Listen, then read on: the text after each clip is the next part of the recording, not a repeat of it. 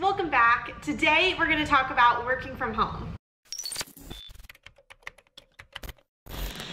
Before we get into it, I know these are some weird times that we're living in. I want to let you know that I'm safe, my family's safe, and I hope you guys are doing okay too. Personally, I think should be focusing on things that make us happy. Making YouTube videos and helping people makes me happy. So we are gonna be talking about working from home and my tips for the whole at-home setup. Before this whole thing started, I worked from home for like a day a week or maybe a day every two weeks. And for my side business, there is no office. Like it's my home, so it's completely remote. No matter if you're self-employed or working for a company full-time from home, you need to be productive when working from home. One way I've done this is by setting up a businessy type of environment. So I have a desk, I sit at the desk, and I work. My desk has everything I need in order to do whatever I'm trying to do. So that could be my laptop, it's a computer charger, it's my hard drive if I'm editing, it's a notebook if I want to jot down some ideas real quick. It also includes my cup of coffee. I didn't used to need coffee on the days I would work from home just because it was usually only one or two days out of the week, wasn't a big deal. But now that it's every single day, I've gotten a coffee maker and it's great. I use the Keurig pods and the pods are great. Instead of going to work and using that transport time, whenever I would leave for work, that's when I start making my cup of coffee. That's also when, if I need to set up anything for whatever work I'm doing for that day, I'll take that time there as well. Now, one tip that I don't see a lot is have a few different places that you work in from your home. So I do have this desk space and this is the main space. If I'm reviewing code, it's always at this space. Any work where it's kind of hard to focus, I always do it at the desk. And so something like editing or writing code, like that has a lot of focus in general that you already have to give to it. And when you start it, you just kind of go and it flows. That's something I would do in a more comfortable space. So even like sitting on the couch or something like that, it requires so much focus that I'm not gonna get distracted. Reading or researching something, like that's easy to get off track. And so I have to do it at my desk. Same for meetings. Usually I'll go between these two or three places. And so I have my desk, I have sitting down in a more comfortable chair, I have the I guess this bar stool thing, so sometimes I'll work there. Switching it up can freshen your perspective and it's just nice to move around a little bit. Now this is something I do even when I'm at work. I'll set alarms for when I have meetings or even for breaks or lunchtime because you can get so into the code or into whatever you're doing that you totally forget about everything else. If you're on a team that has a stand up in the morning or afternoon, it's very easy to just continue coding or continue whatever you're doing and not take a second to stop and join whatever meeting it is. Especially when you're working from home, like if there's some big meeting going on, you see everyone leaving their desks and you're like, hmm, I should probably leave my desk too and go to whatever it is. When you're working from home, there's no social cue that, hey, something's going on and I need to join this meeting. Reminders are a great way to make sure you're attending the meetings you want to attend and you know what's going on. It's also nice to have a reminder for when to end your day. So if you end at 5 p.m., 6 p.m., whatever's normal for your team, like setting an alarm for you to do that, because usually you would see people leaving their desks like if it's 8 p.m., no one's gonna be at their desk at that hour. Or I hope you don't work at a place, I don't know what your hours are. You know, whether it's 5, 6, 6.30, like your team usually leaves, like you'll see people from your team leaving in a traditional work environment. When you work from home, you're not gonna get that cue of like, hey, everyone's leaving. Like I, you know what, this is good enough for today. I'm gonna come back and tackle it tomorrow. This next tip is something I do every day, and that's just writing a list of all the possible things that you could do that day. So whether it's reviewing a specific pull request, uh, submitting a support ticket to something, it could be, you know, working on a ticket that you've been assigned, it's a new feature that you need to develop, it could be setting up a meeting with some of your coworkers or someone from another team to see how they approached a situation that you know that they're familiar with. Whatever it is, write it down. And sometimes these can be personal things too. So whether that's you need to pick up a prescription or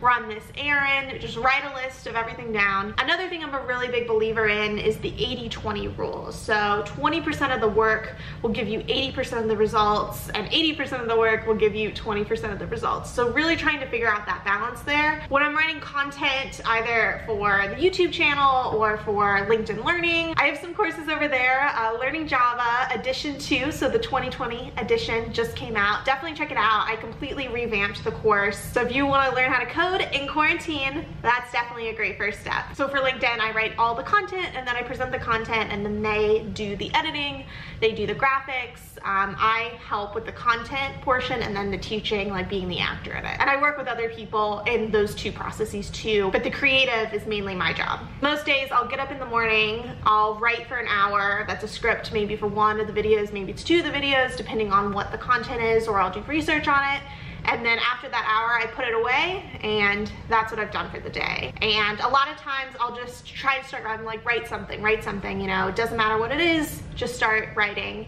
And nine times out of 10, I end up not changing what I've written because it's often what I want to say. Just getting it to paper is half the battle. And it's similar with coding. If you have an idea of how to approach something, just go ahead and write it down. And then from there, new ideas will spawn and just getting it to paper is sometimes 80% of the effort. And then the 20% of writing it gives you that 80% result.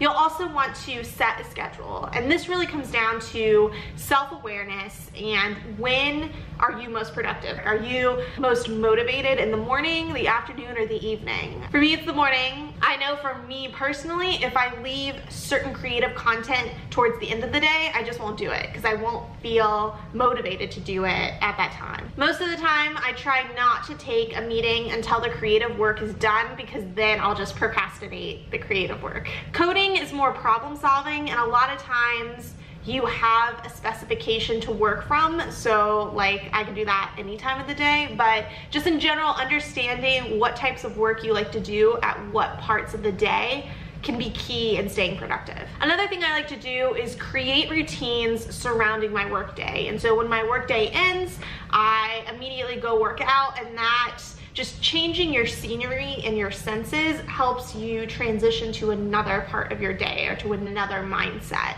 So working out helps with this like cooking a meal, like things where I'm not staring at a screen because you can literally stare at a screen 24 hours a day now with the quarantine. You get up, you watch TV, you play Animal Crossing, and now you've looked at a screen the whole day. So for me, transitioning to like off-screen activities, at least for like an hour or two after work really, really helps. For before work, the smell of coffee wakes me up just getting ready for the day, changing your clothes. I only change the top. Now that we're all work from home, I do wear leggings literally all day and it's great.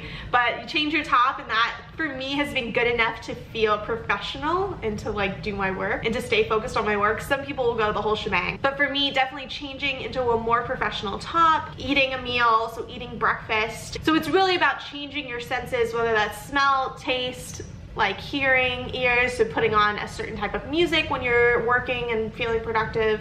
Um, just changing the way you feel is really gonna help with those transitions between work and home because that balance can be tough. In fact, I actually put away my laptop. I literally put it into a backpack and like hide it in my closet when I'm off work, no work hours, and I also turn off the notifications from my work apps on my phone so that I will not look at it. Sticking with this theme of like no screens, at least when you're not working, like everyone loves Animal Crossing or watching TV, but the off-screen time really helps me stay sane, like in this quarantine. Before I would just like go to happy hour after working from home. But now you don't really have that opportunity. So figuring out how to stay away from screens even during lunchtime. So a lot of times I'll cook my lunch just to have something to do that's not looking at a screen. Sometimes I'll walk around the block. And so right now we are able to walk and exercise outside, but even just walking down a few streets and walking back can definitely help. Reading a book or calling a friend and catching up, like these, you know, are typical things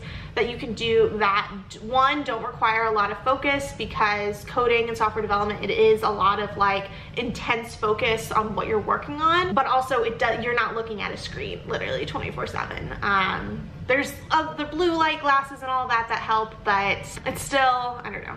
But looking at a screen can really make your brain tired. The last tip I'll give is if you're working with a company or with a manager and you are employed by them, I would let them know what you need in order to be successful at home. So that means, you know, now I'm working at home, I need a new monitor because like when I go to work, I usually have a monitor. Like now that we're in quarantine, for me to do my job successfully, like these are the tools I need. Your manager is not gonna know these things, that it's been hard for you to code and looking at a small screen, unless you tell them. Um, so you tell them, you know, hey, I've tried doing it this way for so many weeks. These are the issues I've had. Like these are the ways I've tried to solve it, but it's just not working out. Like the solution that I see is X and you know, what do you think of doing X? Or even asking your manager what tools have helped you work better at home. They say, oh, I got this new monitor and it does this, then you might as well ask for one too. That's it for this video. Thank you so much for watching. I hope this was useful in some way, shape, or form. Let me know what you think in the comments and happy coding.